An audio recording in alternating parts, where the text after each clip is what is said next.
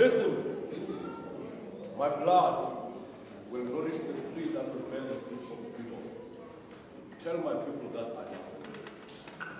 Solomon Kalushi Mahlangu, son of Matai Dona son of the soil, son of the African.